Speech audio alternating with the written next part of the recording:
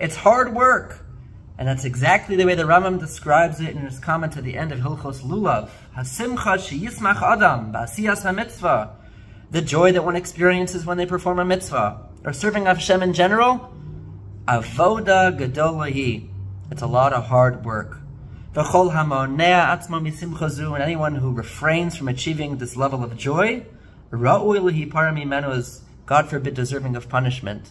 And what's the proof for that?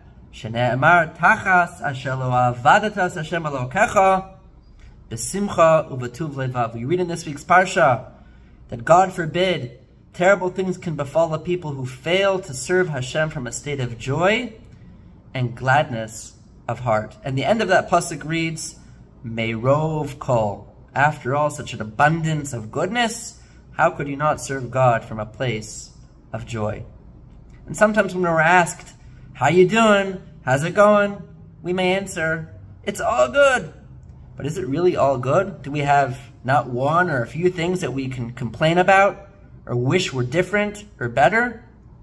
I'll share with you an interpretation from my father-in-law, Rabbi Willig, who understands the words Meirov Kol not necessarily as and meaning an abundance of goodness of everything being good, rather rove in the sense that it's a majority of goodness. And perhaps that's the avoda gadola, the hard work described in the Rambam.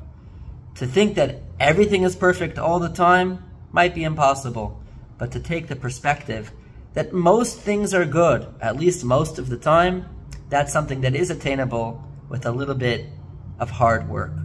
As we close out this year with just a couple more weeks, let's try to refocus and gain this very, very important perspective of things in our lives being mostly good. And with that refreshing perspective, may we all merit a sweet and happy year ahead, full of only blessings. Have a wonderful Shabbos.